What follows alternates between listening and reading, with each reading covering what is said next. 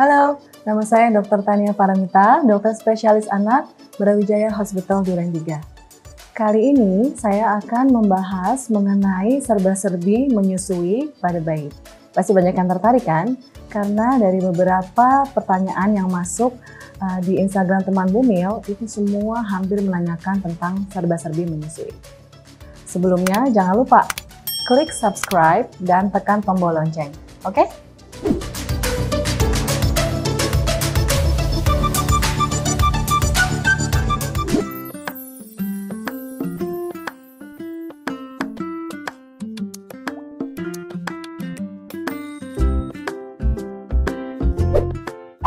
Oke, yang pertama dari Ed Firida Yulianda, pelekatan menyusui yang baik itu seperti apa? Saya jawab ya. Jadi dalam proses menyusui itu ada dua komponen penting. Yang pertama adalah posisi, yang kedua adalah perlekatan. Bedanya apa sih dok? Yang pertama, posisi itu adalah bagaimana sih cara ibu mendekap bayi ketika menyusui bayinya. Jadi caranya adalah kita menggendong bayinya, diposisikan, lalu kemudian kepala bayi menghadap ke payudara ibu dengan uh, daerah hidung bayi sejajar dengan payudara ibu, terutama di arah puting ya. Lalu kemudian perut bayi menempel dengan perut ibu. Lalu kita harus tahu nih setelah itu, bedanya apa setelah itu, apalagi yang penting. Yang tidak kalah penting adalah perlekatan atau latch on. Latch on adalah bagaimana sih cara bayi uh, menghisap uh, payudara ibu ketika menyusui. Yang pertama adalah harus membuka mulut yang lebar. Jadi bayi mulutnya harus terbuka lebar.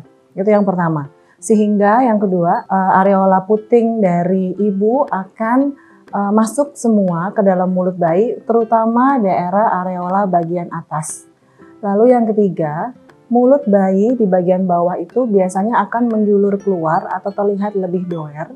Dan yang keempat, biasanya ketika menelan maka akar pipinya akan menggembung dan tidak akan ada suara yang gitu. Seperti itu. Selanjutnya dari underscore YKD, apa saja tanda bayi cukup ASI? Tanda bayi cukup ASI yang pertama adalah bayi akan pipis dan pup dalam jumlah yang sering. Pipisnya rata-rata sekitar enam kali sehari dan warnanya adalah jernih atau kuning jernih, jadi tidak boleh pekat. Dan yang kedua BAB-nya bisa sering, jadi bukan diare ya, karena biasanya BAB-nya itu masih ampas dan cenderung berbiji-biji jika memang uh, asinya asi eksklusif, jadi tidak dicampur dengan pengganti asi yang lain. Lalu berapa frekuensi BAB yang normal sehari itu adalah ketika menyusui adalah sekitar 1 sampai uh, eh, 4 kali sehari. Namun ketika bayi sudah mulai agak besar, biasanya di atas usia 3 bulan, maka biasanya BAB-nya itu bisa lebih jarang. Kadang-kadang dua hari sekali, lima hari sekali, bahkan bisa sampai dua minggu sekali. Lalu yang kedua, tanda-tanda yang lain uh, untuk mengetahui kecukupan ASI adalah kenaikan berat badan. Jadi bayi itu ketika tiga bulan pertama maka akan naik berat badannya sekitar 750 sampai 1000 gram per bulan. Sehingga uh, kita bisa tahu bahwa oh ini cukup. Lalu yang ketiga adalah uh, menyusui di kedua payudara. Jadi masing-masing satu payudara itu harus disusui selama minimal 10 sampai 15 menit. Jadi tidak boleh kurang dari 10 menit. Kenapa? Karena nanti hanya akan dapat for milknya saja. Lemaknya atau him milknya aja nggak dapat. Sehingga kadang-kadang keluhan ketika datang berobat adalah, dok kadang saya sering banget nyusunya, tapi kok berat badannya nggak naik? Karena nyusunya sebentar-sebentar dan him milknya tidak dapat. Kalau seperti itu jangan lupa konsultasi sama dokter anaknya masing-masing ya. Selanjutnya dari Ed Sri Fitriar, berapa lama ideal bayi menyusu? Jadi seperti tadi sudah dikatakan bahwa idealnya atau durasi um, bayi menyusu setiap kali menyusu adalah setiap payudara baik itu yang kanan ataupun yang kiri masing-masing dilakukan 10 sampai 15 menit. Jika satu payudara misalnya sudah 15 menit dan bayinya masih mencari-cari atau masih terlihat haus maka bisa uh, diberikan ke payudara yang sebelahnya. Sehingga kadang-kadang menyusui efektif selama 30 menit saya rasa itu boleh-boleh saja.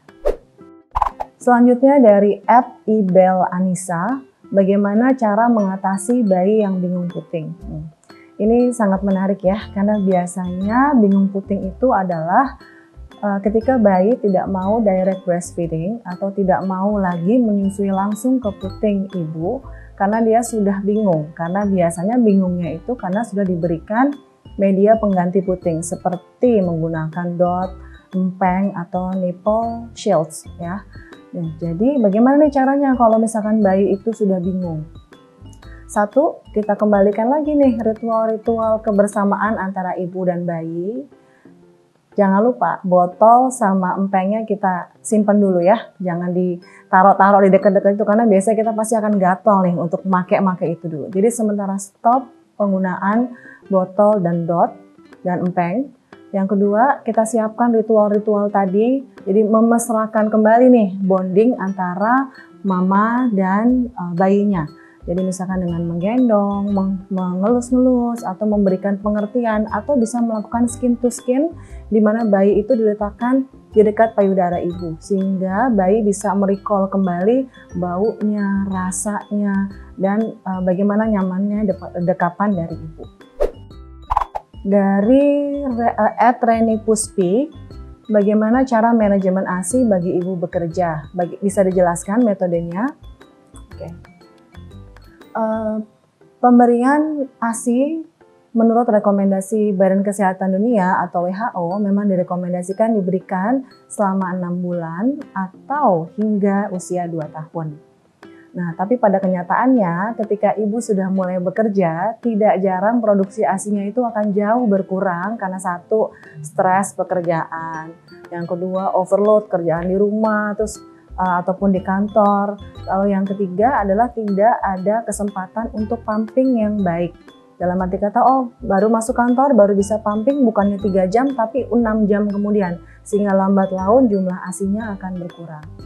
Nah, untuk para ibu bekerja sebaiknya memang berdasarkan undang-undang ketenaga kerjaan pun memang disarankan agar setiap kantor atau perusahaan memang menyediakan ruangan khusus untuk ibu memompa uh, asinya. Lalu disediakan tempat khusus untuk menyimpan ASI perah, misalkan kulkas gitu.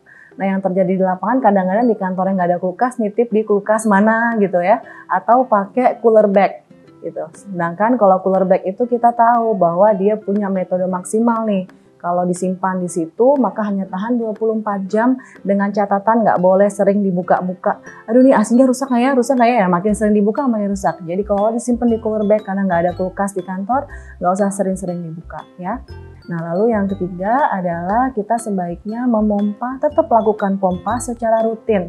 Jadi tiga atau maksimal 4 jam sekali ASI memang tetap harus uh, dikeluarkan uh, kita bisa menggunakan apron jika memang tidak uh, memungkinkan untuk dilakukan di tempat lain atau bisa dilakukan sambil bekerja atas izin rekan-rekan sesama ya mungkin atau bisa dilakukan di ruang tertentu atas izin uh, teman-teman uh, sekantor misalnya. Dan yang penting adalah konsistensi dan kedisiplinan. Dan penyimpanan ASI perah misalkan nanti sampai rumah nih ASInya sudah ada nih terus sampai rumah mau langsung disimpan di freezer itu masih bisa dengan catatan tadi nggak lebih dari 24 jam penyimpanan di cooler bag. Selanjutnya dari at ira underscore sipahutar. Apa itu metode power pumping? Jadi power pumping itu adalah suatu metode yang dikenal dengan cluster pumping di mana ibu itu melakukan uh, pompa payudara atau pompa ASI uh, 10 menit per sesi yang diselingi dengan 10 menit pumping, 10 menit istirahat dan itu dilakukan selama total satu jam. Nah, tapi ada perbedaan. Yang pertama adalah uh, metode single pump, yang kedua adalah metode dual pump. Jadi kalau metode single pump itu adalah kita hanya memompa uh, satu payudara saja. Jadi bergantian. Jadi payudara kanan 10 menit, payudara kiri 10 menit, istirahat 5 menit. Terus diulang lagi, payudara kanan 10 menit, kiri 10 menit, istirahat 5 menit lagi. Lalu yang terakhir, payudara kanan dipamping 10 menit, 10 menit, lalu selesai. Jadi total adalah 20 menit kali 3, 60 menit ya. Tapi kalau untuk dual pump, dual pump itu adalah dia menggunakan uh, dua pompa. Jadi untuk dua payudara, itu adalah kita lakukan pompa pertama adalah selama 20 menit, lalu kemudian istirahat 10 menit, lalu kemudian dipompa lagi, dipumping selama 10 menit, istirahat uh, 10 menit, dan selanjutnya pumping lagi selama 10 menit sehingga total kurang lebih sekitar 60 menit. Dan ini sangat bermanfaat untuk meningkatkan uh, produksi ASI ketika ASI itu sudah mulai berkurang jumlahnya. Selanjutnya dari Ed Tamilia, bagaimana cara menyapi anak yang bagus ya dok? Caranya cuma satu, winning with love. Jadi kita memang harus menyapih dengan menggunakan cinta dan pengertian. Biasanya kalau misalkan disapi dengan cara-cara yang agak ekstrim, itu justru anaknya akan semakin berontak dan akan makin susah.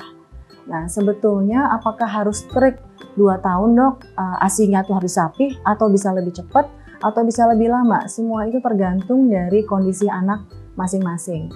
Ada beberapa anak yang memang tidak tidak diberikan susu tambahan, hanya ASI saja, tapi ternyata beratnya sudah lama tidak naik.